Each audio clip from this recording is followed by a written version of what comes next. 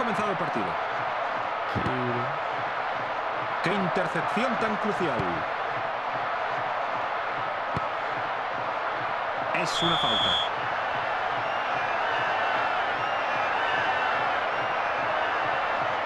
Te aseguro, eso no es teatro. Realmente le.